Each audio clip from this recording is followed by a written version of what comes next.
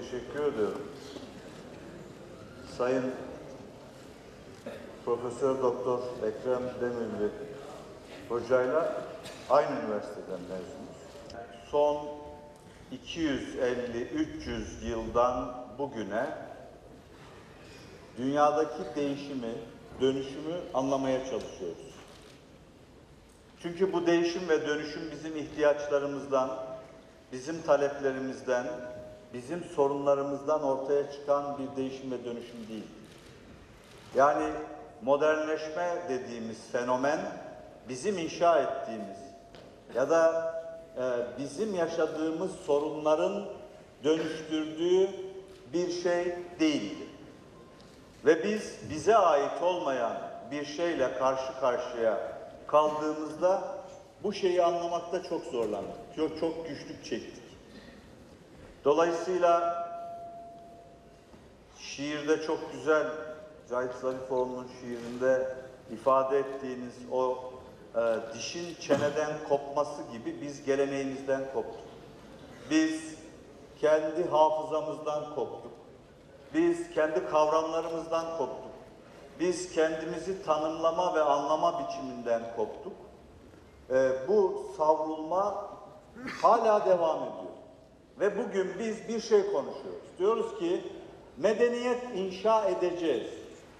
Yani bu öyle bir hale geldi ki sanki TOKİ ihalesi bir ihaleye çıkacağız. Evet. Ve e, projesi yapılacak. Teknik şartnamesi hazırlanacak. Bu ihaleyi birisi alacak ve bize medeniyet inşa edecek. Artık iş böyle garip ve tuhaf bir noktaya geldi. Bizim medeniyetimizi bugün yeniden tanımlamak mı, güncellemek mi, nasıl diyeceksek ki medeniyet kavramının kendisiyle ilgili de ciddi tartışmalar vardır. Ama bildiğim bir şey var ki medeniyeti cevaplar kurmaz. Medeniyeti sorular kurar. Çok doğru sorular sorarsınız.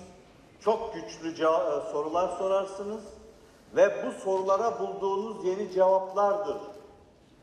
Onu kuracak olan. Oysa biz farkında mısınız? Hep cevapları konuşuyoruz. Bize ait olmayan cevapları konuşuyoruz. Bizim üretmediğimiz cevapları konuşuyoruz. Mesela biz insan kavramı üzerine ne kadar düşündük? İnsan nedir? Şimdi Hazreti Adem ve Hazreti Havva'yı konuşurken biz nasıl konuşuyoruz?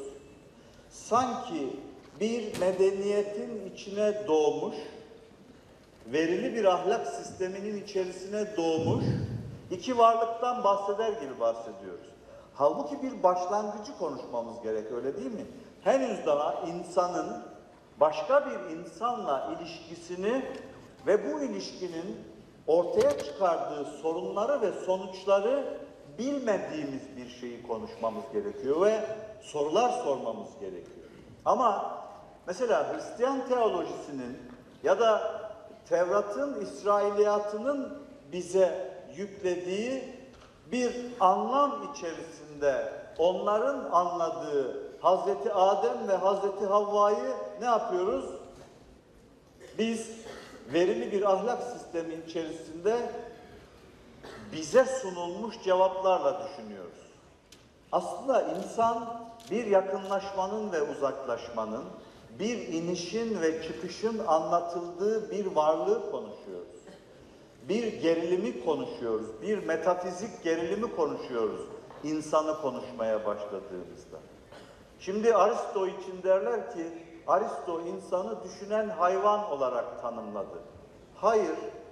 Mesela orada hay canlı demek. Düşünen canlı. Yani insanı hayvan sınıfına biz kendi ezberimizde ne yapıyoruz? Alıp insanı hayvan sınıfına sokuyoruz. Oysa hayvan canlı demektir. İnsansa düşünen canlı demektir. Şimdi ezberlerimiz üzerinden ve başkalarının cevapları üzerinden gençler konuşmaya başladığımızda ve kendi sorularımızı sormadığımızda o zaman düşünce olmuyor. Bizim bir düşünce ortaya çıkarabilmemiz için kendi sorularımızı bulmamız gerekiyor. Merak, hayret ve şaşkınlığımızın olması gerekiyor. Eğer bizim merakımız, hayretimiz, şaşkınlığımız yoksa, kendi sorularımız yoksa, insana dair sorunlarımız ve sorularımız yoksa bir düşüncemiz de yok. Ve bizim daha tehlikeli bir şey söyleyeyim size. Eğer bir düşünceniz yoksa bir ahlakınız da yok demektir. Çünkü ahlakı inşa eden temel şey düşüncenin kendisidir. Bugün bizim bir ahlaktan bahsedebilmemiz için bir düşünceden bahsetmemiz gerekiyor.